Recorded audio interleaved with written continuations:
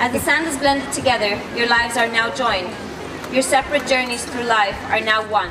Your friends and family are as one as well.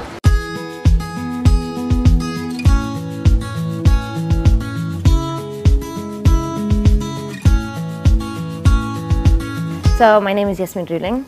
One of my favorite things to do in, in life is just to see people happy and see people smiling. And Helen taught us that while sitting there and having a beautiful celebration, you get to be at the pinnacle of people's happiness.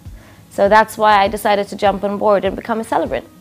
Given my background, I am multicultural. I am a hybrid. I'm half German, half Egyptian.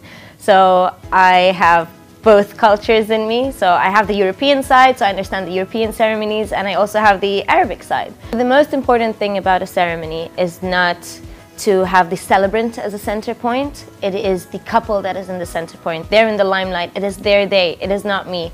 So by choosing me, I don't want you to choose me because I am into making your ceremony a fun thing to do. No, I want you to choose me because I want you to feel comfortable with me. The same as any celebrant in our team, all of us want you to feel comfortable with us, not to choose us for who we are, rather to choose us for what we can add to your ceremony.